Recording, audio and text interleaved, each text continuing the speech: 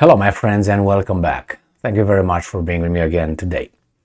A minute ago, I covered the second attempt uh, of the Ukrainian army to conduct its, uh, according to the Russians, offensive.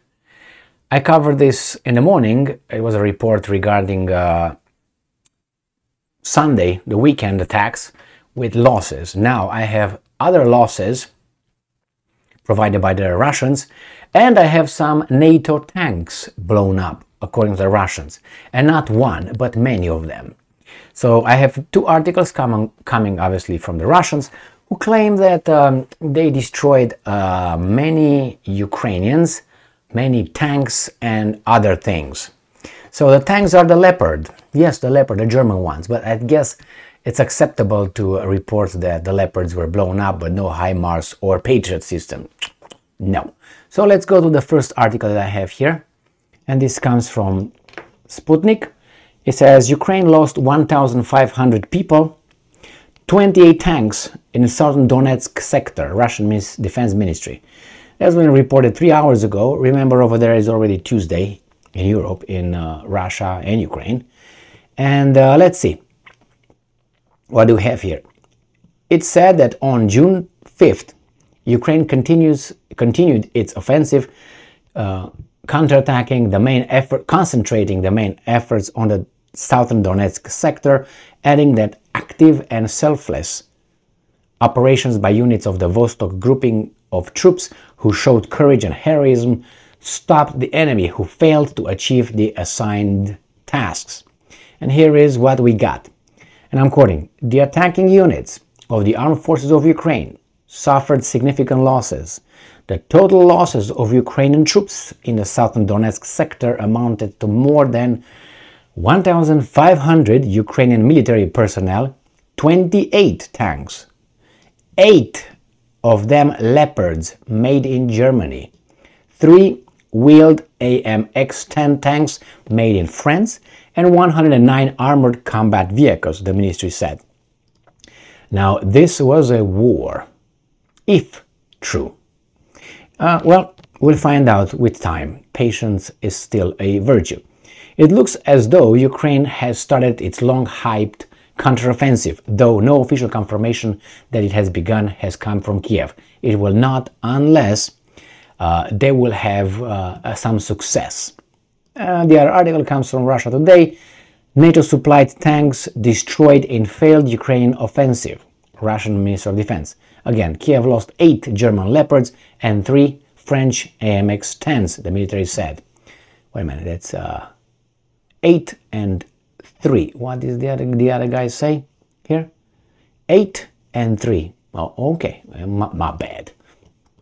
So the same thing is here as uh, as they um, uh, reported in uh, Sputnik, but they say having suffered heavy losses, the day before the Kiev regime recognized the remnants of the 23rd and 31st mechanized brigades into separate combined units, which continued the offensive operations close to Novodarovka and Levadnoye, said the ministry spokesman, Lieutenant General Igor, Igor Konashenkov.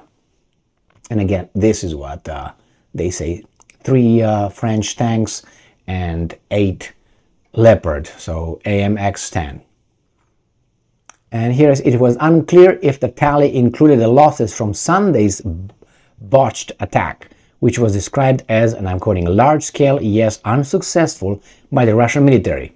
In the attempt alone, that was during the weekend or Sunday, Kiev lost more than 250 service members, 16 tanks, 3 infantry vehicles, and 21 armored vehicles, according to the military.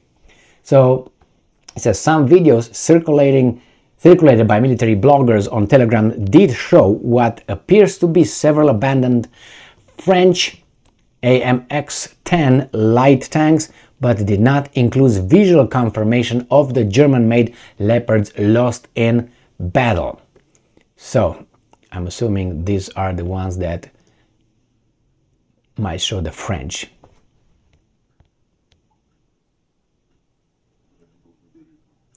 I don't know because I don't know, but this should like covered. All right. So the Russian Defense Ministry has yet to release footage of the latest strikes on Ukrainian military vehicles. On Monday, it published a video of Ukrainian heavy equipment supplied by the Western nations being destroyed by Russian strikes and uh, the day before. Ukraine's Deputy Defense Minister Anna Maliar confirmed that Kiev's forces were moving to offensive actions, that's true, she said that, in some areas, but provided no comment on the failed attacks that claim and claimed that Moscow's talk about the Kiev's quote-unquote counteroffensive blunders was an attempt to, to, to divert attentions from its own alleged failures. Well, uh, just, uh, just sit tight for about uh, a week, and after a week, uh, the Ukrainians will uh, come clean.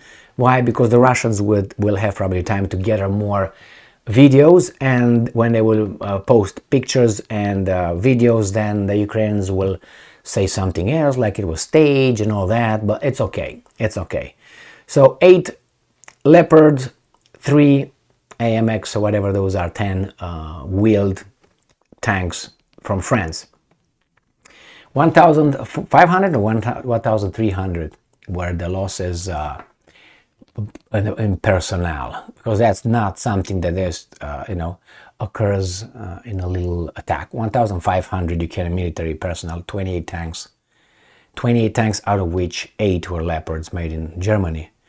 Okay and 109 armored combat vehicles. Now that was a butcher uh, event but unfortunately as I said the, the Ukrainians will deny it uh, um, we wait five more days, six more days, the Russians will get the evidence, if there's the evidence, and then everybody's going to calm down.